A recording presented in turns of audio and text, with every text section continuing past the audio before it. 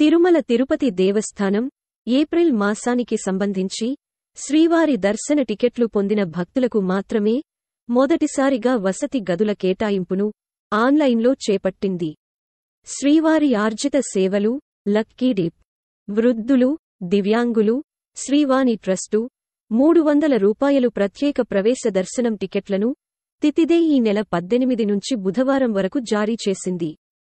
ఇందులో భాగంగా ఉదయం పది గంటలకు ఆన్లైన్లో విడుదల చేసిన మూడు వందల రూపాయలు ప్రత్యేక ప్రవేశ దర్శనం ఎస్ఈడి టికెట్లను భక్తులు రెండు గంటల నలభై ఐదు నిమిషాల్లోనే కొనుగోలు చేశారు.